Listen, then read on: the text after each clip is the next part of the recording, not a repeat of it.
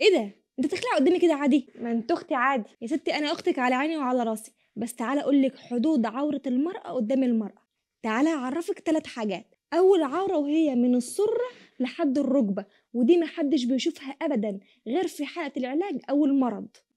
ما ينفعش إن أنت مثلا أنا وأختي أنا وأختك أو أنت وأي حد واقف كده تقومي خلع قدامه. لا ما ينفعش. دي عورة ما ينفعش حد يشوفها. تاني منطقة بقى العوره وهي الكتف الساق الصدر الرجلين. دي مسموح إن هي تشوفها بنت البنت يعني أنت مثلا ممكن واحد يشوفك وأنت بترضعي عادي. فاهماني؟ بس الأفضل طبعا والأصح الأفضل والأصح إن أنت تكوني مدارياهم.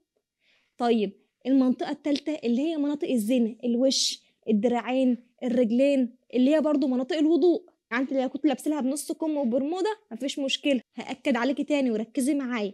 من السره للركبة ما ينفعش تقومي قاعدة قدام أختك من غير ما تكوني لابسة فيهم حاجة. المنطقة التانية وهي من فوق السره لحد فوق الكتف والصدر والدراعين. ممكن مثلا أختك تشوفك وأنت بترضعي بس الأفضل طبعا أنت تكوني مغطياهم. العورة الثالثه وهي الوجه واليدين والقدمين اللي هي مناطق الوضوء أو مناطق اللي هي الزينة دي مسموح إن انت أختك تشوفك فيهم. يعني انت لو كنت لابسة لها برموده أو بنص كم ما فيش أي مشكلة قدام أختك انت تلبسي كده. المشكلة كلها من السره للركبه وبس كده في رعاية الله ما تنسوش تصلوا على النبي.